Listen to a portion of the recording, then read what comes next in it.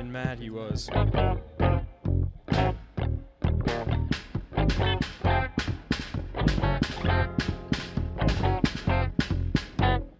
Why did you take me to my car?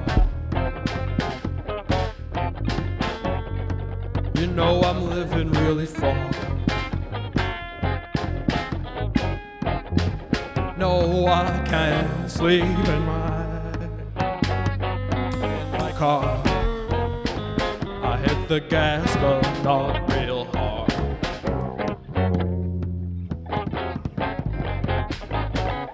Fuck you for doing this to me.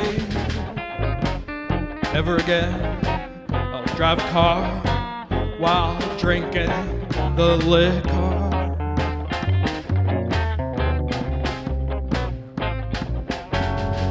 No, I can't drive my car while drinking the liquor.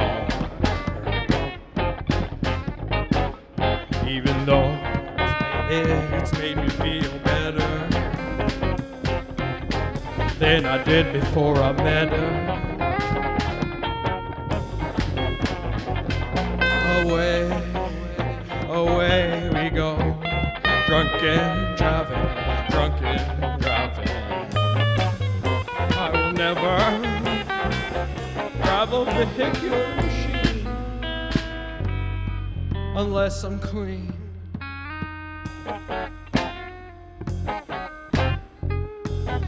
Ooh, ah.